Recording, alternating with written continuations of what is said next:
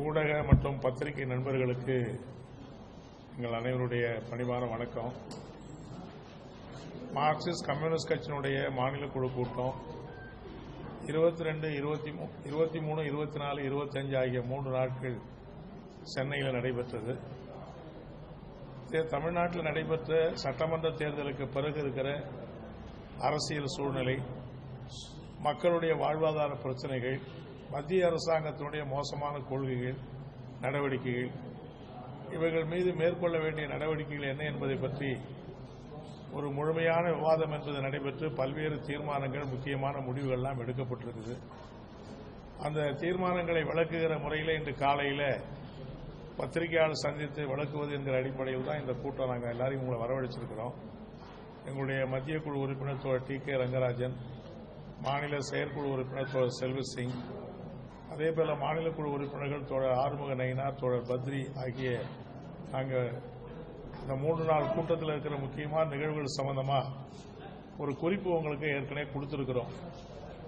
அந்த குறிப்பின் மீது சில விஷயங்களை மட்டும் நான் உங்களுடைய கவனத்துக்கு கொண்டு வர விரும்புகிறேன் வேற ஏதாவது விளக்கங்கள் கேட்டால் நீங்கள் வந்து நாங்கள் தெரிவிக்கிறோம். குறிப்பாக என்னன்னா இந்த நடைபெற்று இருக்கிற ஐந்து மாநில தேர்தலில் மூன்று மாநிலங்களில் பாஜக என்பது அதனுடைய கூட்டணி கட்சிகள் மோசமாக தோல்வி அடைய நிலைமை என்பது ஏற்பட்டிருக்கிறது.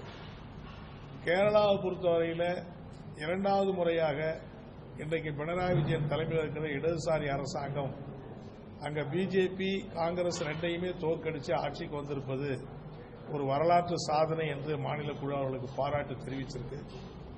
அதேபோல தமிழ்நாட்டில் அதிமுக பாஜக கூட்டணியை எதிர்த்து நீண்ட காலமாக ம- பல்வேறு மக்களுடைய பிரச்சனைகளை முன்னிறுத்தி மத்திய பாஜக அரசு அதிமுக அரசுடைய மோசமான நடவடிக்கைகளை எதிர்த்து பலகட்ட போராட்டங்களை நாங்கள் நடத்தியிருக்கிறோம்.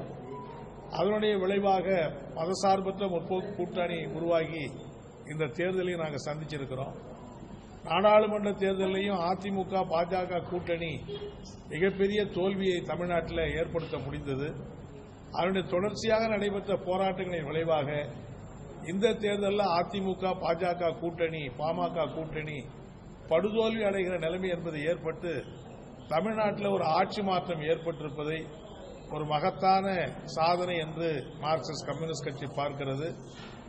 இது அதிமுக திமுக தலைமையிலான மதசார்பற்ற கூட்டணி என்பது ஒரு பக்கம் இருந்தால் கூட இந்த கூட்டணி பல காலங்களில் மக்களுடைய வாழ்வாதார பிரச்சனை மீது நடைபெற்ற அந்த போராட்டங்களின் விளைவாக இந்த வெற்றி கிடைத்திருக்கிறது என்று நாங்கள் இந்த நேரத்தில் பார்க்கிறோம்.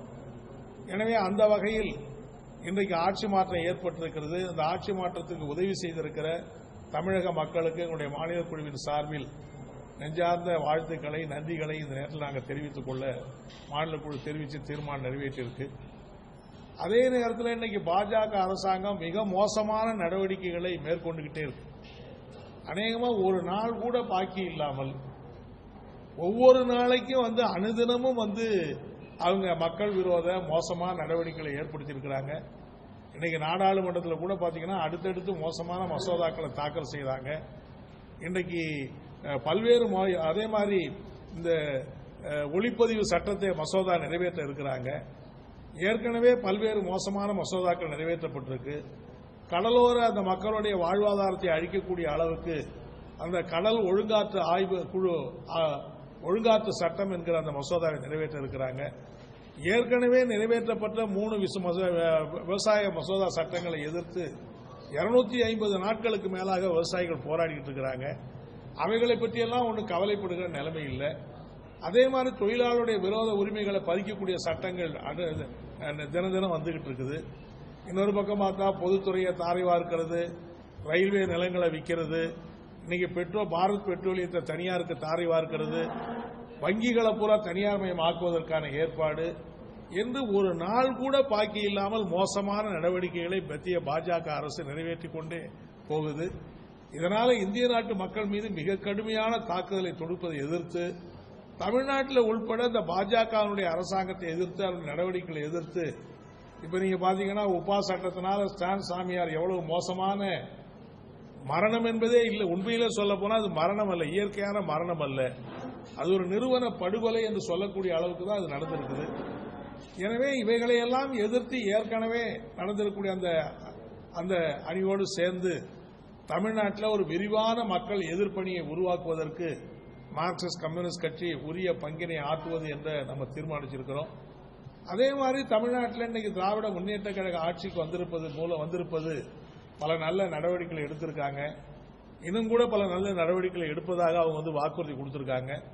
எனவே மக்களுடைய நம்பிக்கை பெறுகிற மக்களுடைய ஆதரவை பெறுகிற முறையில் அவங்களுடைய நடவடிக்கைகளை தொடர வேணும்.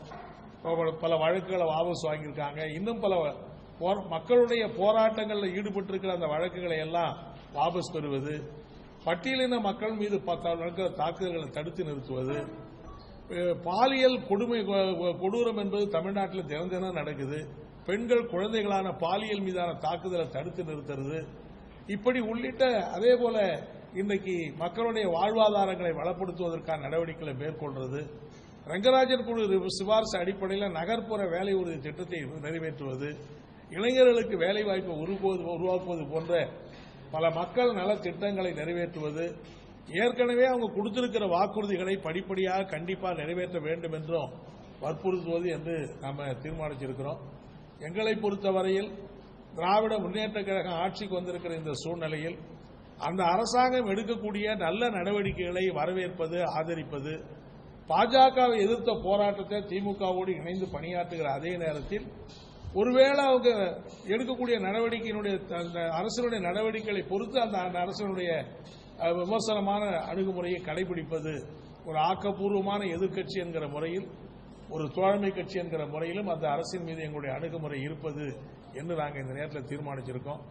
இதே காலத்தில் நீங்க பாத்தீங்கன்னா அதிமுக பாஜக அதாவது அதிமுக அவங்களுக்குள்ள ஏகப்பட்ட கோஷ்டி என்பது ஏற்பட்டு இன்னைக்கு கோஷ்டி பிரச்சனையை தீர்த்துக்கிறதுக்கு டெல்லிக்கு பயணம் போயிருக்கிற அளவுக்கு மோசமான நிலைமை என்பது ஏற்பட்டு அவர் என்ன கூட்டணி தலைவரா அல்லது அதிமுகவுக்கு தலைவரான்னு தெரியல.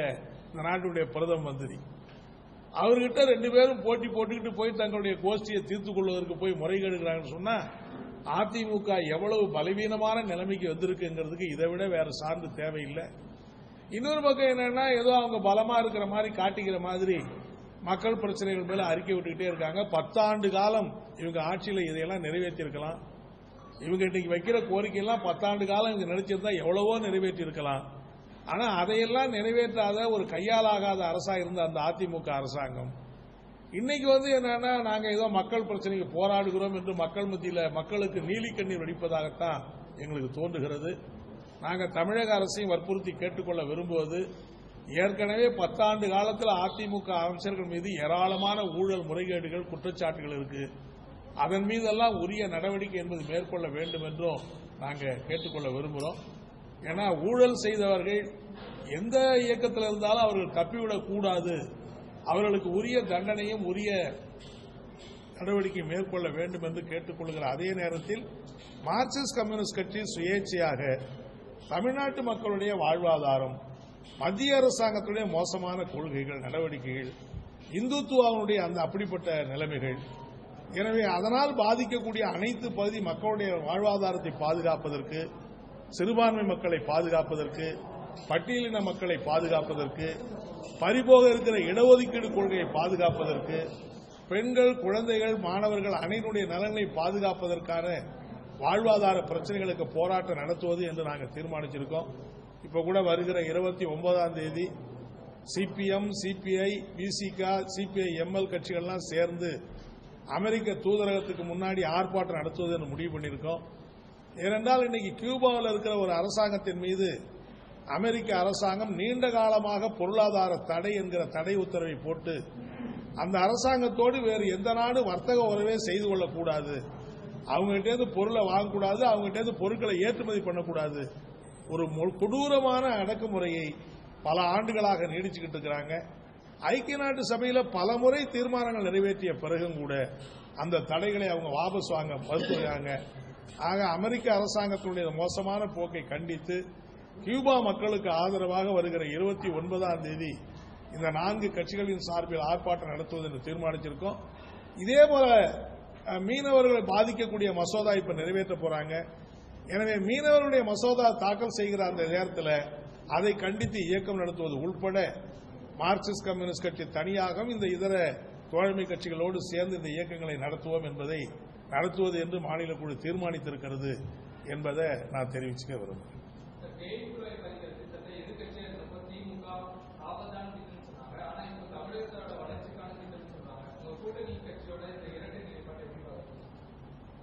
இல்ல அதாவது வந்து அந்த கெயில் திட்டம் வந்து ஏற்கனவே சட்டமன்றத்தில் திமுக உள்பட எதிர்த்தவங்க தான்.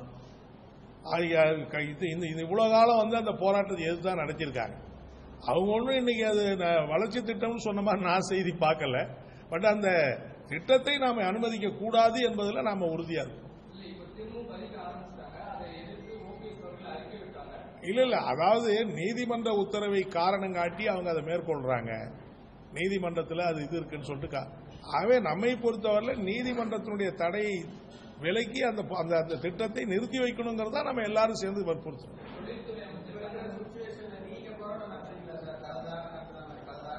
கண்டிப்பா கண்டிப்பா நடத்துவோம். தாராளமா நிச்சயமா மக்களுடைய வாழ்வாதார பிரச்சனைகள் வருகிற போது நம்ம திமுகவை வற்புறுத்துவோம். அதுக்காக போ- வாதாடுவோம் போராடுவோம்.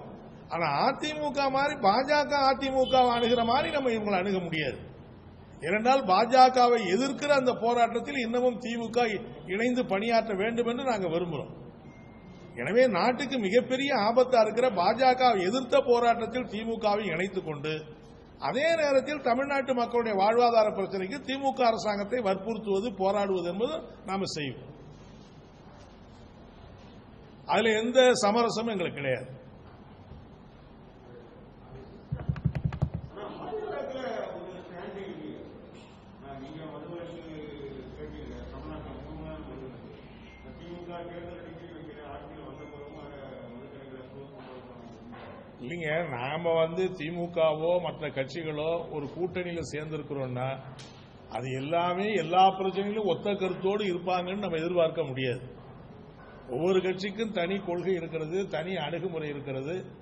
ஒரு பொதுவா வந்து பாஜக அதிமுகவை வீழ்த்துவது என்கிற ஒற்றை அஜெண்டாவில் நாம ஒன்னா கூட்டணி சேர்ந்தோம். ஆகவே திமுகவுடைய கொள்கை திட்டத்தை அடிப்படையில் அவங்க எங்களுக்கு நாங்க வந்து படிப்படியாக மதுக்கடைகளை மூடுவது வேண்டும் என்று வற்புறுத்துவோம். இதுல திமுகவுக்கு வேற அணுகுமுறை இருக்கலாம் காங்கிரஸுக்கு வேற அணுகுமுறை இருக்கலாம் சிபிஎம்க்கு வேற அணுகுமுறை இருக்கலாம். ஒவ்வொரு கட்சிக்கும் தனித்தனியான அணுகுமுறைகள் இருக்கிறது. ஒரு தேர்தலில் நம்ம வந்து சட்டமன்ற தேர்தலில் நாடாளுமன்ற தேர்தலில் பாஜக அதிமுகவை வீழ்த்துவது என்பதற்காக ஒன்னா சேர்ந்தோம் அவ்வளவுதான். சரிங்களா நாளை மறுநாள் திமுக அரசு தேர்தல் அறிக்கையெல்லாம் நிறைவேற்றல சொல்லிட்டு அதிமுக சார்பா ஆர்ப்பா- கண்டன ஆர்ப்பாட்டம் பண்ணுது நாளை மறுநாள் இதை எப்படி பார்க்கிறீங்க அதாங்க நான் தான் ஏற்கனவே சொன்னேனே. அதிமுக ஆட்சியில் கொடுக்கப்பட்ட ஏராளமான தேர்தல் தேர்தல் வாக்குறுதிகளை அவங்க என்னைக்குமே நிறைவேற்றல. இன்னைக்கு திமுக தேர்தல் அறிக்கை கொடுத்திருக்கிறாங்க. அந்த தேர்தல் அறிக்கையில் இருக்கிற அம்சங்கள் அத்துணையும் நிறைவேற்ற வேண்டும் என்று நாங்களும் வற்புறுத்துவோம். ஆனா அது ஆட்சிக்கு வந்த ரெண்டு மாதத்துல மூணு மாதத்துல எல்லாத்தையும் நிறைவேற்ற முடியும்னு எப்படி எதிர்பார்க்க முடியும்? மோடி கூட தான் வந்து டிகேஆர் சொல்ற டிகேஆர் மோடி கூட தான் தேர்தல் நேரத்தில் சொன்னாரு பதினஞ்சு ல- கருப்பு பணத்தை பூரா பிடிச்சி பதினஞ்சு லட்சம் கொண்டு வந்து எல்லாரும் பேங்க் அக்கௌண்ட்லயும் போடுவோம் அதனால தேர்தல் நேரத்தில் அவங்க ஆகவே அதிமுகவுக்கு அந்த தார்மீக உரிமை இல்லை என்பதுதான் எங்களுடைய கருத்து. ஏன்னா அவங்க ஏதோ எல்லா தேர்தல் அறிக்கையும் நிறைவேற்றிட்ட மாதிரியும் அவங்க கூட்டணி கட்சி எல்லாத்தையும் தேர்தல் நிறைவேற்ற மாதிரியும் இப்ப ஆட்சிக்கு வந்த உடனே மூணு மாதத்துல திமுக நிறைவேற்றலன்னு சொல்றது என்ன தார்மீக உரிமை இருக்கு? அந்த உரிமை அதிமுகவுக்கு இல்லை தொகுதி உடன்பாடுகள்ல அஹ், திமுக கூட்டணியில சிபிஎம் கூடுதலான தொகுதிகள் வேணும்னு சொல்லிட்டு கடைசி நேரம் வரைக்கும் பேச்சுவார்த்தை நடத்திருக்கீங்க. அது சாட்டிஸ்பாக்சனா இருந்தா மாநில குழு போய் டிஸ்கஸ் பண்ணீங்க தொகுதி உட்பட அஹ், பேசியிருக்கீங்க. அது மாநில குழு என்ன மாதிரி விவாதம் அல்ல இல்ல இந்த தேர்தல் என்பது அரசியல் ரீதியாக பார்க்கப்பட்ட தேர்தல். திராவிட முன்னேற்ற கழகம் பிஜேபி ஏடிஎம்கே எதிர்க்கக்கூடிய தேர்தல் என்பதுதான் பிரதானமானது. தொகுதி என்பது செகண்டரி ஆயிருக்கு ஆகவே அந்த அரசியல் கடமையை மார்க்சிஸ்ட் கம்யூனிஸ்ட் கட்சி தமிழகத்தில் நிறைவேற்றியிருக்கிறது. ஓகேங்களா? நன்றி வணக்கம். போன் எடுத்து